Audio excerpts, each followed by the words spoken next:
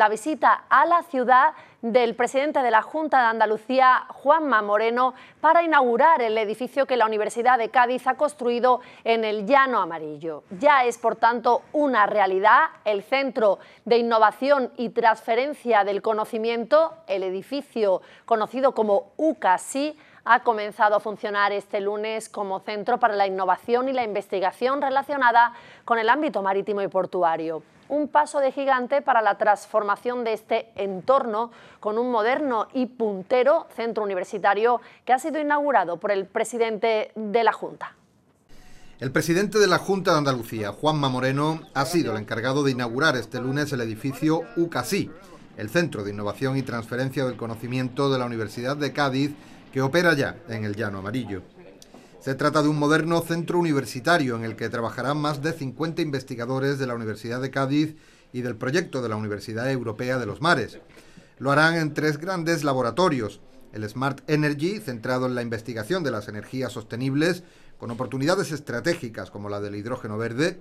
el Smart Manufacturing, con más de un millón de euros destinados a la fabricación ad hoc de piezas de gran tamaño para atender a las necesidades del sector marítimo portuario e industrial, un espacio en el que se ubica una impresora 3D de grandes dimensiones para la creación de piezas industriales, y el Smart Cities por Lab, que trabajará en la innovación y la mejora de los procesos tanto de la ciudad como del puerto. El rector de la Universidad de Cádiz, Francisco Piniella, ha destacado el potencial científico que supone la puesta en marcha de este centro tecnológico. Hablamos, pues, por tanto, de una infraestructura que evidencia el potencial científico de la Universidad de Cádiz y que desde el primer minuto se pone al servicio del desarrollo y la innovación de la comarca, de la provincia y de Andalucía. La autoridad portuaria de la Bahía de Algeciras ha jugado un papel esencial en este proyecto mediante la cesión del suelo para la construcción de un centro de I de Masí que supone el primer paso para la transformación del Llano Amarillo, que contará en breve con un museo portuario y un palacio de congresos.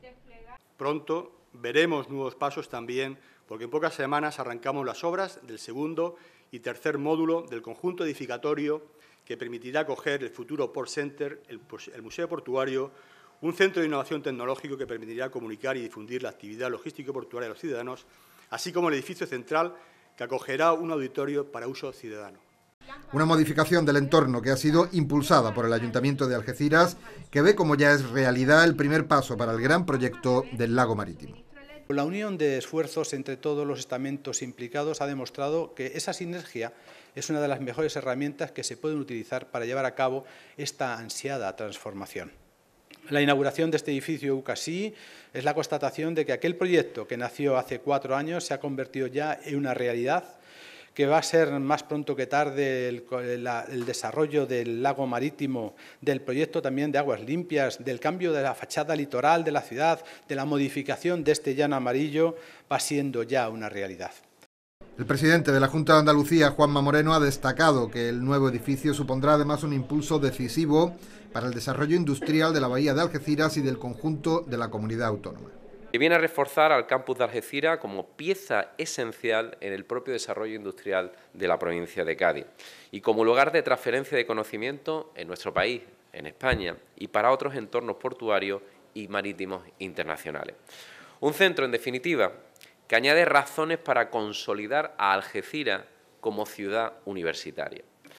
El edificio ha contado con la financiación de 4,5 millones de euros de fondos europeos gestionados por el Ejecutivo Autonómico.